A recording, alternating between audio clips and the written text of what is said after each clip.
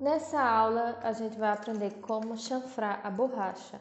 Chanfrar é deixar uma pontinha reta, semelhante a um triângulo.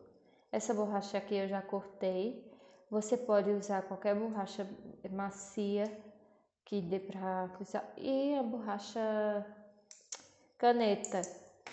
Você pode. Deixa eu dar um zoom aqui para pegar melhor, gente.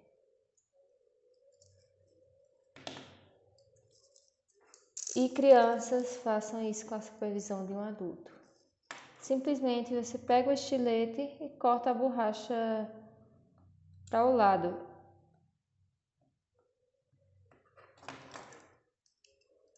Ó. Pronto.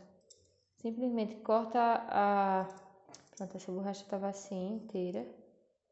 Estava inteira a borracha aqui. Eu simplesmente corto a borracha e a ponta vai ficar assim, meio triangular. Essa forma eu consigo pegar mais detalhes. Mais detalhes de cabelo, por exemplo, que eu posso fazer assim e pegar brilho, fazer brilho, essas coisas. A ponta fica chanfrada, ó. E é isso, você pode fazer em outro, outros tipos de borracha, borracha quadrada, você corta para deixar a ponta assim. Sempre usando um estilete e sempre com a supervisão de um adulto, caso você seja criança. E a dica da borracha limpa tipo.